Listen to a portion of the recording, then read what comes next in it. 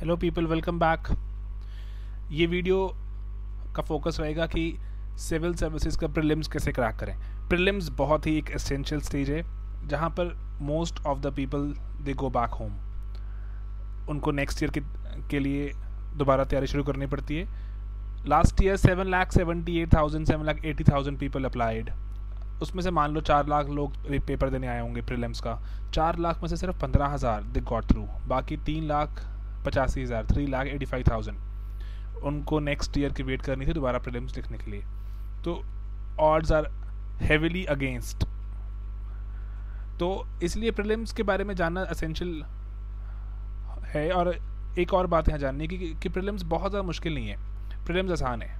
Prelims आसान इसलिए क्योंकि नंबर ऑफ़ बुक्स जो आपको पढ़नी है वो बहुत ही कम होती है लिमिटेड होती हैं बहुत ही फैक्चुअल है।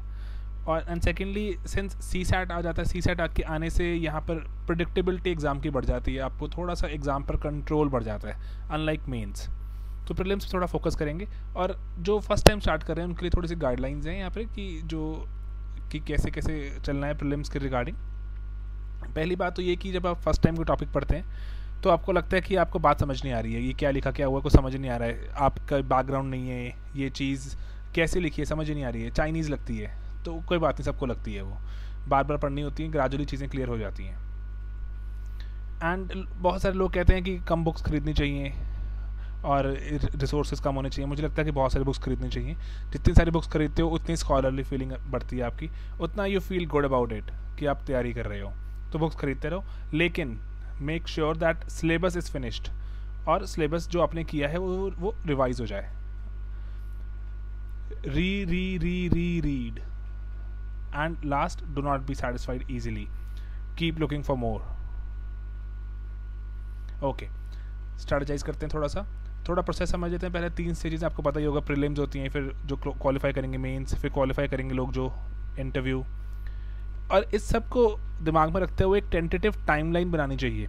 टाइमलाइन कि कैसे टाइमलाइन कैसे बनाएँगे हम? हम टाइमलाइन बनाएँगे। कीपिंग इन माइंड जो लास्ट एग्ज़ाम हमने क्रैक करना है। अभी हम मेंस को लेकर चलते हैं। बैक ट्रैक करेंगे बैक ट्रैक उल्टा लेकर आएँगे वापस। मेंस अज्यूमिंगली लेट्स से दिसंबर में है। फ़र्स्ट वीक ऑफ़ दिसंबर में मेंस हैं।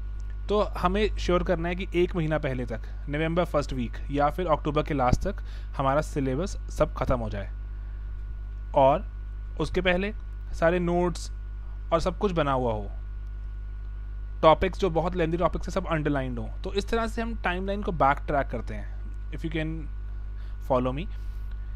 कि दिसंबर, उसके एक महीना पहले मैंने रखा कि मेरे को सारी चीज़ें रिवाइज़ करनी है, इसलिए अक्टूबर एंड तक मैंने सोचा कि सब खत्म करना है, और उसके ख़त्म करने के लिए मुझे क्या क्या चीज़ें कब कब करनी होंगी accordingly I will draw time line तो इस तरह से ही आपको चीज़ें अपनी करनी है। प्री प्री को अगर आप टारगेट रखते हो तो प्री से पहले कब कब आपको कब क्या ख़त्म करना है, कौन सा टेस्ट कब देना है अकॉर्डिंगली टाइम लाइन ड्रॉ करना ज़रूरी है। प्लानिंग इज़ एसेंशियल हर बंदे का अपना अलग प्लान होता है। तो make sure you have your own plan prelims focus करते हैं पहले। नेक्स्ट वीडियो में विल डू मेंस मेंस के बारे में बात करेंगे। जनरल स्टडीज़ और एप्टीट्यूड टेस्ट दो चीज़ें हैं प्रीलिम्स में। और सीक्रेट क्या क्रैक करने का? सीक्रेट बहुत ही ज़्यादा एक मुश्किल चीज़ बता रहा हूँ आपको मैं। रेलिवेंट बुक्स पढ़नी है और टेस्ट्स देने हैं। दैट्स इट किसी को बताना मत। जनरल स्टडीज़ अब इसमें पढ़ना क्या है? बहुत ही एक्सट्रीमली सिंपल है, पाँच बुक्स पढ़नी होती हैं। अगर आप वो पाँच बुक्स बार बार पढ़ सकते हो गारंटीड है आपका प्री क्रैक हो जाएगा। पॉलिटी के लक्ष्मीकांत अब ये बुक्स कैसे पढ़नी है, वो हम देखेंगे अगली स्लाइड्स में। सिर्फ़ ये आपको पाँच बुक्स खरीदनी है, उसके सिवा जो खरीदना चाहो, आपकी श्रद्धा है वो तो। हिस्ट्री की स्पेक्ट्रम मॉडर्न इंडिया खरीदनी होती है। मॉडर्न इंडिया हिस्ट्री की modern India not any other book Spectrum की।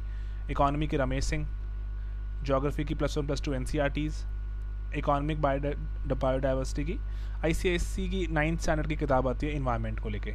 और एक नेट से IUCN की लेटेस्ट लिस्ट डाउनलोड करनी है, ताकि पता लगे कि कौन से कौन से एनिमल्स एक्सटिंक्ट हो गए हैं, कौन से होने वाले हैं, कौन से इंडेंजर्ड हैं एंड ऑल थोड़े से नोट्स भी फॉलो करने पड़ेंगे आप किसी इंस्टीट्यूट के।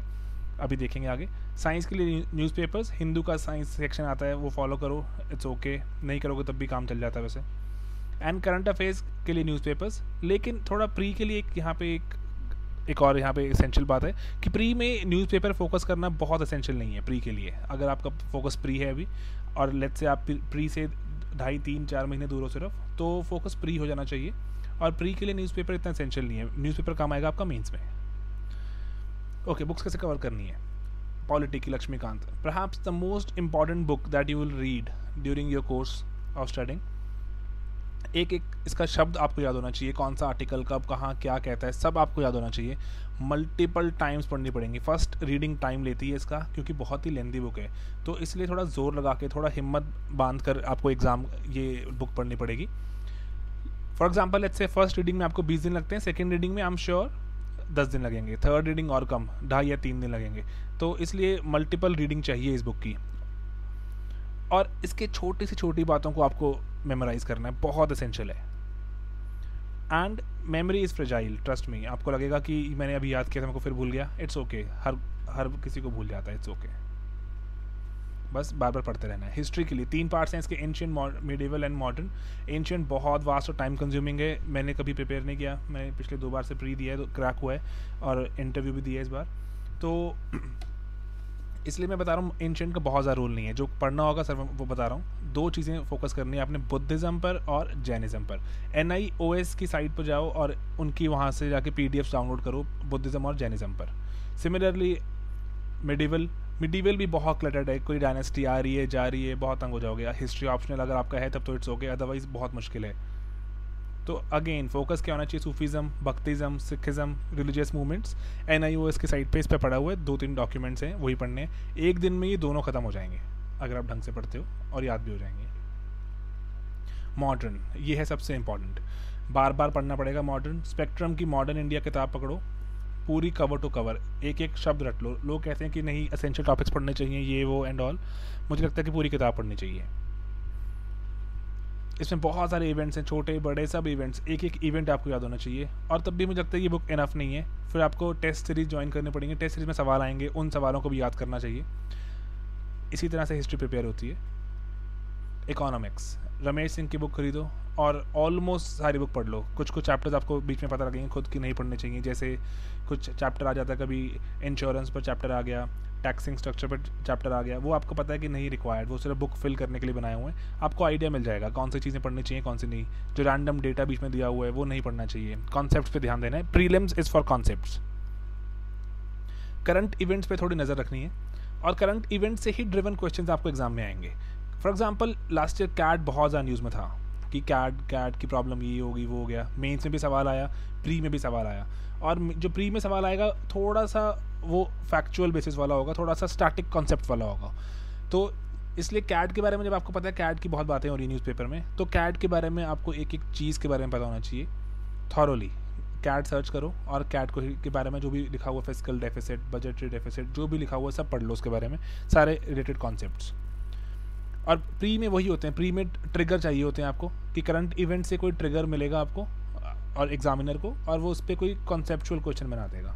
एक और चीज़ पढ़नी है आपको इकोनॉमिक सर्वे क्विकली रिव्यू कर लेना। इकोनॉमिक सर्वे के नोट्स वगैरह मार्केट में मिल जाते हैं। उसमें नई नई टर्म्स आती हैं चांसेस होते हैं कि एग्ज़ाम में आ जाए। 2013 में तो नहीं आई 12 में आई थी। तो उसमें जैसे लास्ट ईयर थर्टीन के इकोनॉमिक सर्वे में टर्म थे फ़िज़िकल मार्क्समैनशिप एक्सपेक्टेड थी कि वो पूछ ले कि क्या होती है। फाइनेंस मिनिस्टर ने टर्म यूज़ की थी ये। Medium term M T P F medium term policy framework word use किया गया था। तो चांसेस है कि पूछ लिया जाए, लेकिन नहीं पूछा। तो इसलिए इकॉनमिक सर्वे को क्विकली स्कैन करना होता है। इसमें डेटा ही होता है। ज़्यादा कुछ याद नहीं करना होता। जोग्राफी बहुत ही सिंपल है। सिंपल एज इन रीड करनी सिंपल है। इलेवंथ ट्वेल्थ की एन सी आर टीज पढ़नी है आपने। और एक दिन लगता है पूरा पढ़ने में, अगर आप दस बारह घंटे लगाते हो। इसमें जो इम्पोर्टेंट कॉन्सेप्ट को अंडरलाइन करके और दोबारा दोबारा पढ़ना होता है। कई कई चीज़ें आपको जैसे जैसे लास्ट ईयर साइक्लॉन था बहुत ही फ़ेमस हुआ था साइक्लॉन आया था। तो आपको साइक्लॉन के बारे में सब पता होना चाहिए। चांसेस हाई हैं कि साइक्लॉन एग्ज़ाम में आएगा। मेंस में आया भी था। वो प्री और मेंस के, के दौरान बीच में आया था।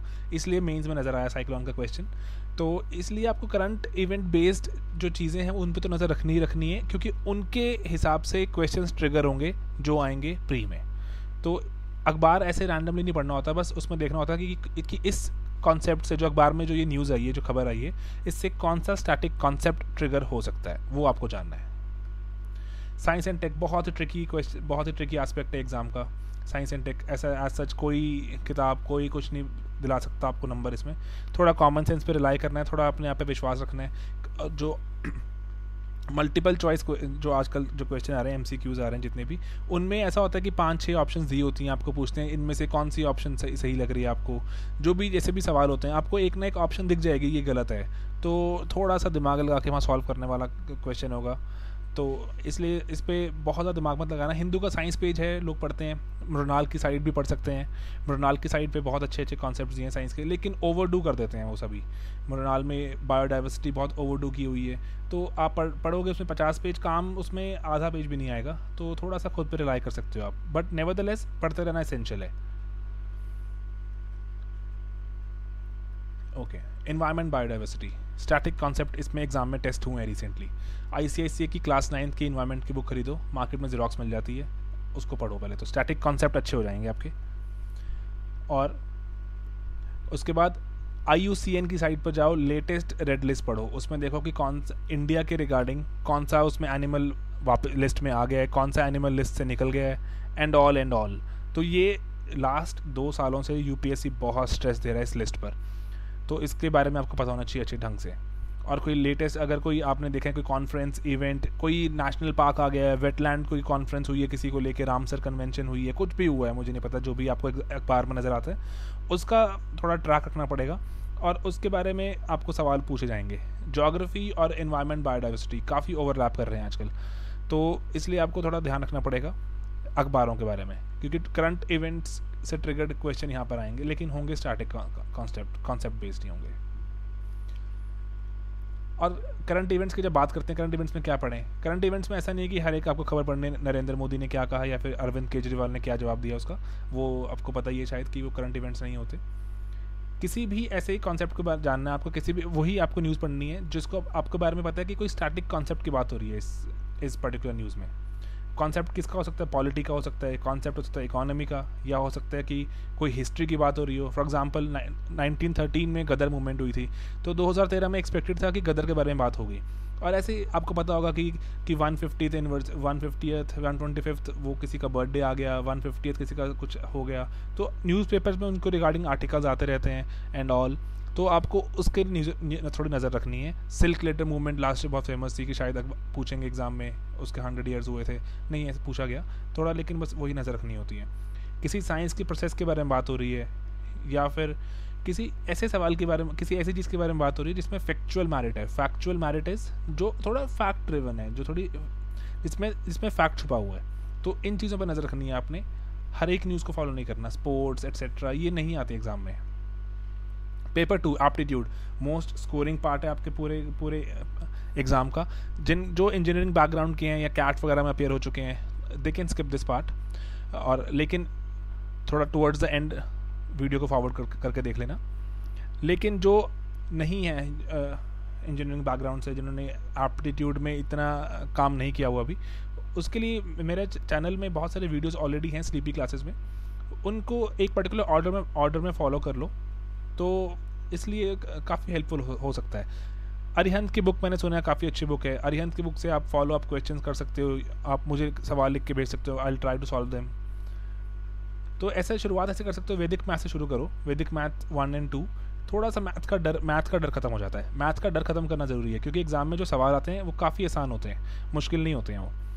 तो लेकिन लोग सॉल्व नहीं करते हैं, उनको लगता है कि मैथ से डर लगता है कि सॉल्व नहीं होंगे उनसे। सॉल्व हो जाते हैं, सभी सभी सॉल्व करते हैं। लोगों के one seventy one eighty number आ रहे हैं सी सैट में, दो सौ में से। तो कुछ तो रीज़न होगा ना। और डिविजिबिलिटी रूल्स ये तीन वीडियो पहले फॉलो करो, थोड़ा मैथ्स का डर हटाओ। उसके बाद क्वेश्चन सॉल्व करो and try to increase your calculation speed उसके बाद जो इंपॉर्टेंट टॉपिक्स हैं, उनको करो, उन पर काम करो। जिनको काम करने से बहुत ज़्यादा बेनिफिट होगा। टाइम एंड वर्क का वीडियो देखो टाइम स्पीड डिस्टेंस का video and profit and loss बहुत सारे सवाल पूछे गए हैं रिसेंटली इनसे।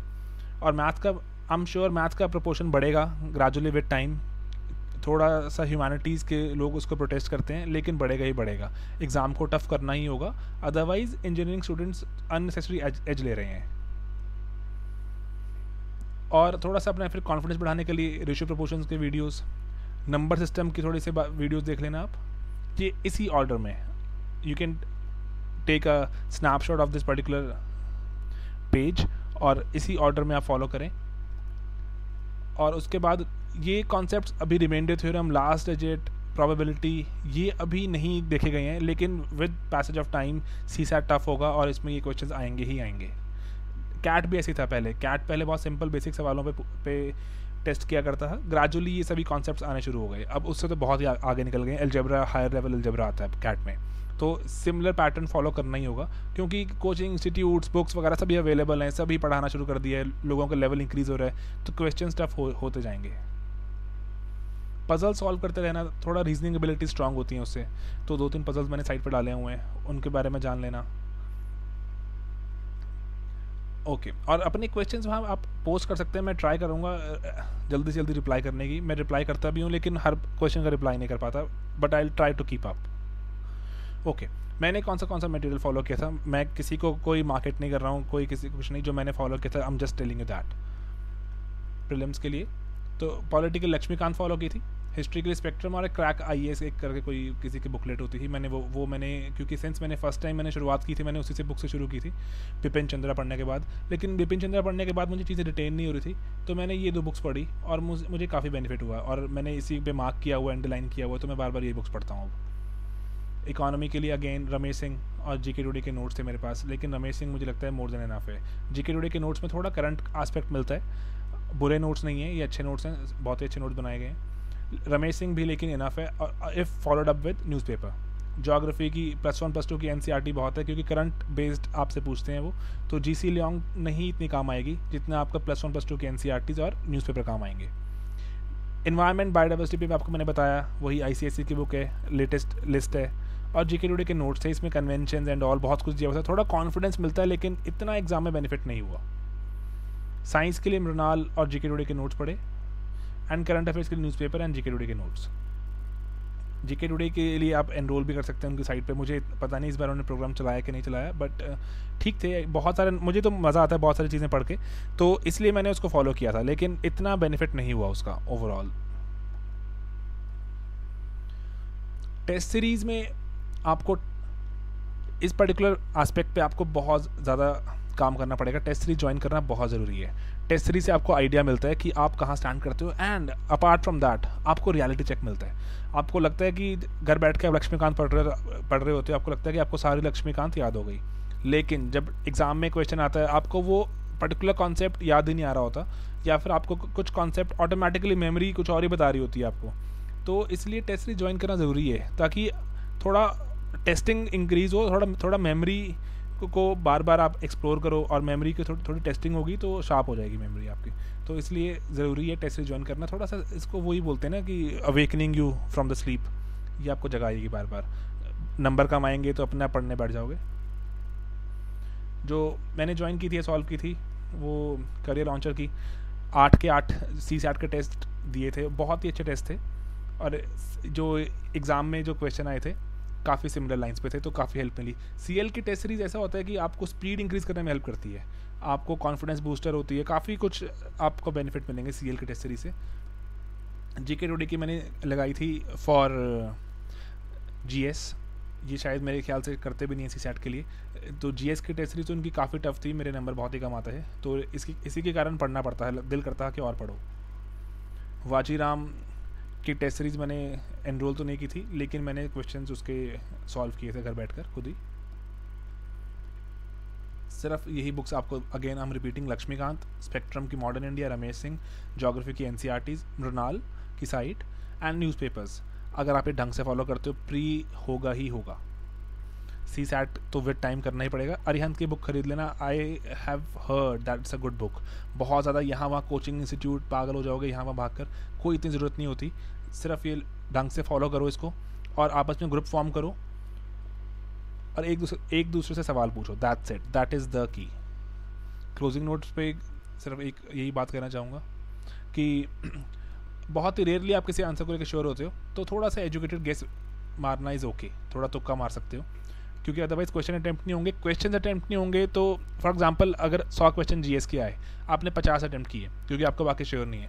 पचास अटैम्प्ट किए, उसमें से मान लो कि आपके चालीस ठीक होंगे तो चांसेस बहुत कम हो जाएँगे। अस्सी नंबर लेकर, वहाँ पर आपका सी सैट पर प्रेशर बहुत बढ़ जाएगा, कि सी सैट में आपको अच्छा परफॉर्म करना ही होगा। Last year cut off was two thirty something I am guessing but it's not out but I am guessing तो सी सैट पर बहुत प्रेशर बिल्ड हो जाएगा। तो मेक श्योर sure कि यहाँ पर जीएस में अटैम्प्ट अच्छा हो।